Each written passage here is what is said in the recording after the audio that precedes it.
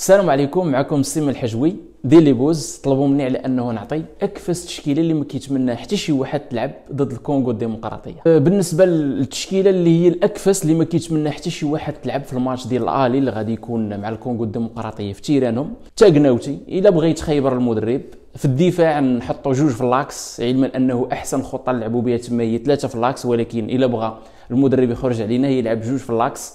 سامي مايي شاكلة العكوش في اليمن يحيى عطيه الله في اليسار. في ال milieu terrain يبغي يدخل اوناحي حيت مقصح. حداه آه، مثلا آه، ايليا الشاعر ما كيلعبش في هذاك ال poste ديال 8 قدامه في ال poste ديال 10 مثلا يحط لنا الحدادي. في اليمن آه، ك ailier droit اللي هو جناح أيمن يدخل لنا مثلا الزلزول اللي أصلا مقصح وما خصوش يدخلو.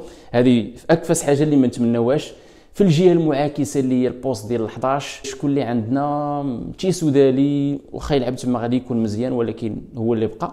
في attaquant de يفقصنا بيوسف النصيري. ودابا نشوفوا أحسن تشكيلة اللي نتمناو المنتخب وحيد يلعب بها في الماتش ديال الجمعة.